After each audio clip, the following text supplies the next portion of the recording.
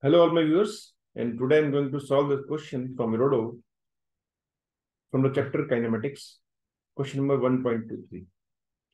A point moves rectilinearly with d-acceleration whose modulus depend on the velocity of the particle as this. So your d-acceleration and this is acceleration. Given where a is a positive constant and at the initial moment the velocity of the point is equal to v naught.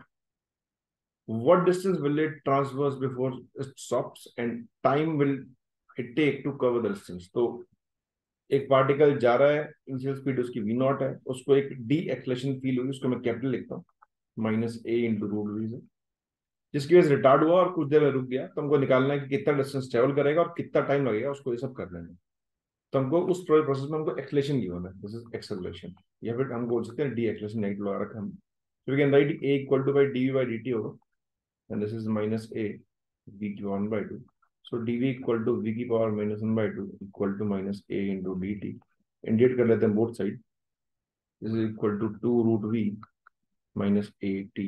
Limits v की होगी, v not से लेकर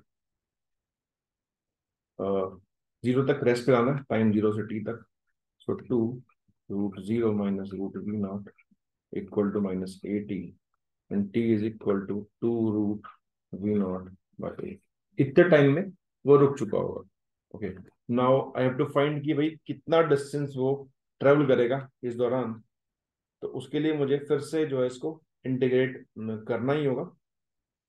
So what can I do तो मैं यहाँ लिख सकता हूँ, फिर से एक्सलेशन के बदले minus A root V A के बदले में कर लेता हूँ V D V by D S equal to minus A root V तो this is root V D V equal to minus A D S both हट करते इंटीग्रेट सो वी की power three by two upon three by two equal to minus A zero से S limits देखते हैं.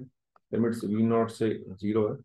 So this is 2 by 3 under root 0 minus v naught 3 by 2 equal to minus as. So s is equal to